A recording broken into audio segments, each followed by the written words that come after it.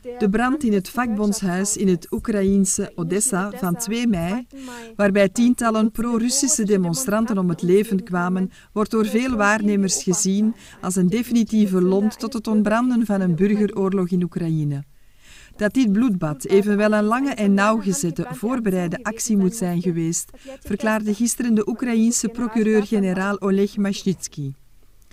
Er is video- en fotomateriaal ter beschikking waaruit blijkt dat enkele militieleden opzettelijk niets hebben ondernomen. Er was een afspraak tussen agenten en bandieten, zei hij, volgens berichten van het Oekraïense persbureau UNN.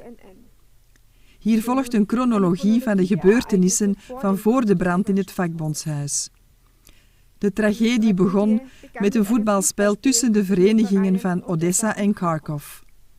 Ondanks de enorme politieke spanningen stonden de autoriteiten het voetbalspel toe.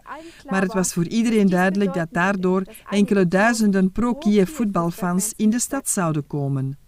Na de match begonnen ongeveer 1500 voetbalfans en ondersteuners van de staatsgreep regering in Kiev samen aan een demonstratiemars die ook was toegestaan.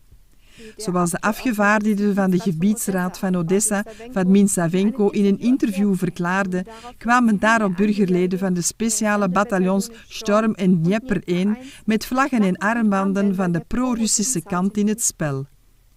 Eerst hitsten zij de voetbalfans, evenals het overige peupel, doelgericht op door het inzetten van vuurwapens. Ze leidden daarna de protesteerders af van de voorziene marsroute en provoceerden hen in de richting van het vakbondshuis om een conflict uit te lokken met onbewapende en vreedzame pro-Russische activisten in het bivak daar. De pro-Russische activisten trokken zich daarbij terug in het gebouw, dat daarna in brand werd gestoken. Het blussen van de brand gebeurde pas na grote vertraging, hoewel de brandweerpost direct naast het vakbondshuis is. Zoals ons volgende mediacommentaar gedetailleerd uiteenzet, bestaan er verder talrijke bewijzen voor de verdenking dat het vuur alleen kan hebben gediend als camouflage voor een bloedbad dat reeds had plaatsgevonden in dit gebouw. Beste kijkers, Zelfs de massamedia berichten deze dagen dat de Oekraïense staatsgreepregering in Kiev momenteel geadviseerd wordt door tientallen CIA- en FBI-specialisten. Men zegt dat het erom zou gaan behulpzaam de rebellie in het oosten van het land te beëindigen. Dit is officieel. Vanuit deze achtergrond ligt het vermoeden voor de hand dat het brute bloedbad in Odessa een doortrapt CIA-draaiboek gevolgd zou kunnen hebben om politieke moorden te kunnen verbergen achter opgehitste hooligans.